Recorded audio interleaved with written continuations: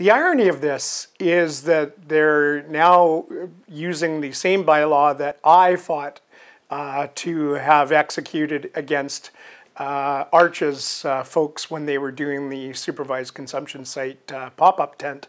over the latter part of the summer and the uh, fall here. So I, I, find that quite humorous that now they're using that very bylaw that we wanted them to enact and they would they refused, which is it's also known as the Parks bylaw here in Lethbridge. Um, you know, we almost got on our hands and knees begging and pleading for them to uh,